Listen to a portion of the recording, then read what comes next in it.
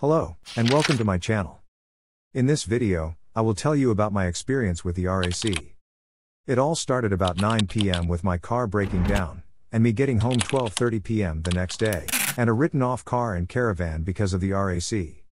I will keep it short today, because I will do a full in-depth video, covering all the shocking treatment I got from the RAC customer service team. And absolutely no aftercare. I phoned and reported the breakdown at about 9:30 p.m.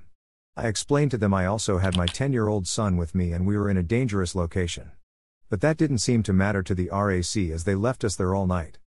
Then at about 3 a.m. the police turned up, so I explained my situation to them and they said they would try and chase the RAC up for me and left. At about 9:30 a.m. a recovery lorry turned up from the police because we had been there all night and traffic was getting worse, but the police weren't with him so I refused to let him load it on. Because it would have been put in a police compound. Then a RAC van turned up and arranged with the police and the recovery company that he will recover it for the RAC. Funny how the police could get a recovery lorry, but the RAC couldn't. Now I will tell you how my Mitsubishi Delica and Caravan got written off. They attached the winch cable to the bull bars on the front and towed it up onto the lorry. It was the kind of lorry that the bed tips up to meet the road, so it had a steep angle. When the Delica got to the top, the bull bars ripped off the front, and the Delica came rolling back down and run into my caravan, which was still parked behind, which pushed the caravan into the RAC van behind that. That was just the start of my nightmare experience with the RAC, it just got worse and worse after that.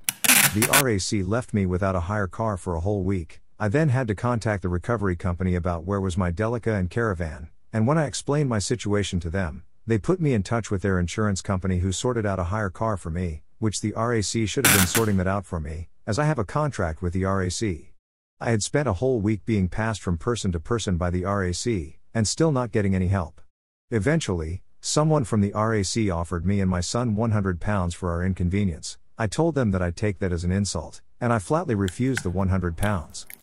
I thought I would share my experience with the RAC with you, but if you like this video, Please like, subscribe and turn on notifications for the full length video about this. And thank you for watching till the end.